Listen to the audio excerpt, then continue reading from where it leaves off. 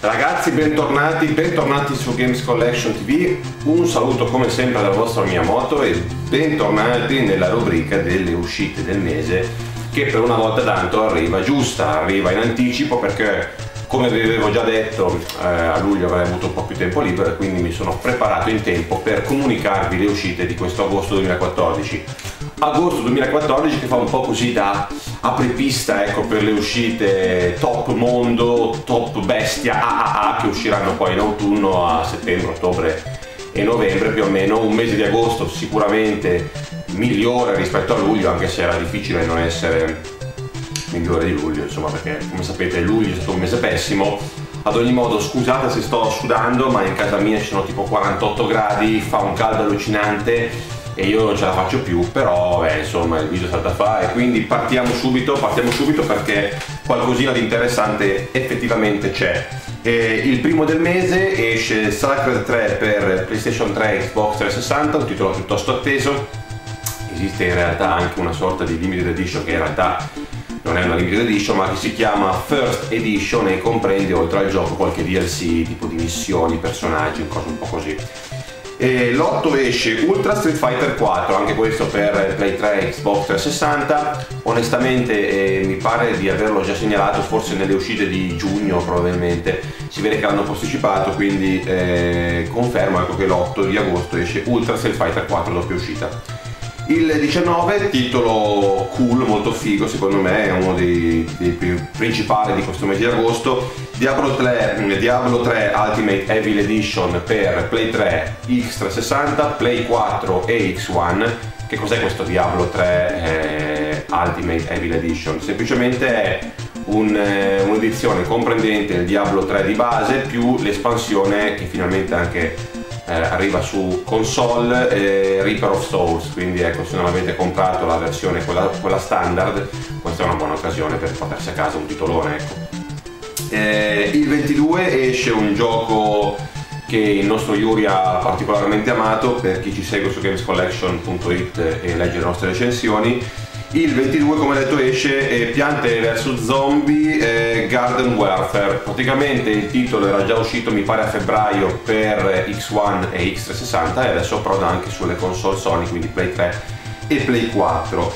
Il 28 l'uscita secondo me top, quella più importante del mese, almeno a, a mio modo di vedere, ecco.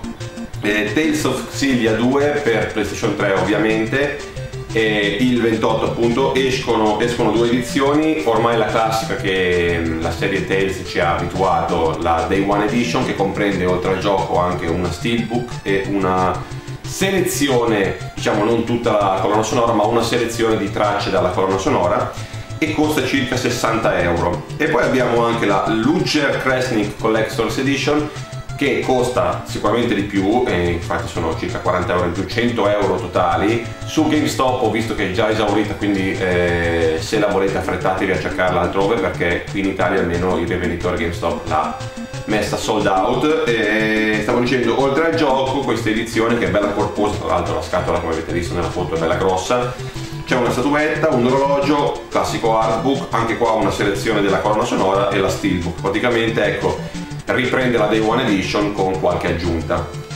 Però insomma il titolo è interessante, per chi segue questo genere è sicuramente un'uscita molto attesa. E chiudiamo il mese di agosto con due uscite il 29, la prima è Ryzen 3 Titan Lords per Xbox 360 e Play 3 e poi eh, Metro Redux o Redux, non so come cavolo si dica ragazzi, per Play 4 e X1, quindi con questo abbiamo chiuso il mese di agosto per le console casalinghe come vedete qualcosina insomma di interessante c'è perciò se eh, non andate in ferie dovete rimanere ad agosto a casa per, per, lavorare ecco avete sicuramente qualcosa con cui sfogarvi la sera qualche gioco qualche gioco gustoso ecco gustoso. E chiudiamo questo video anche perché devo riaccendere il ventilatore ragazzi perché sto, sto morendo figa eh, con le console portatili quindi il primo del mese esce Lego eh, Ninjago eh, Nindroids per 3DS e PS Vita e il 27 un titolo che mi fa parecchio incazzare perché qui in Europa uscirà solo in versione diciamo digital delivery sul PSN mentre in Giappone e negli Stati Uniti uscirà anche in versione retail. Sto parlando di Hyper Dimension Neptunia Rebirth 1. Mm, io ero interessato a questo gioco, eh, volevo anche comprarlo, probabilmente lo farò più avanti, ma sicuramente acquisterò la versione americana. Mi fa solo incazzare che, come al solito, noi europei siamo sfigati e oltretutto il cavolo già un PS Vita lascia il tempo che trova perché sta, sta veramente facendo girare i coglioni a molti che l'hanno acquistata vista la penuria di giochi e comunque eh, il fatto che è molto mal sfruttata da parte di Sony oltretutto ci fanno ancora queste sorpresine di digital delivery. Andate a cagare allora. È andata a cagare perché io boicotto il digital delivery. Va bene ragazzi. Ho finito.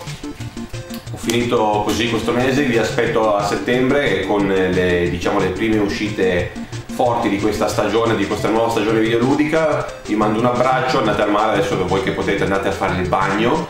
E un bacione a tutti, a presto, ciao!